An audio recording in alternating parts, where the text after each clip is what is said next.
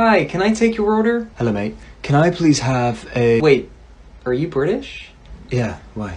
Um, it, it's just that, uh, uh, the translator isn't here. It's it's just me. So, But we both speak English. It's not like I'm talking another language. hey, you know what? I can do this. May I take your order? Right. So, can I please have a tomato sandwich with aubergine courgette, a packet of crisps, and a bottle of water? Cheers, mate. Oh, and a cookie for pudding. Get out.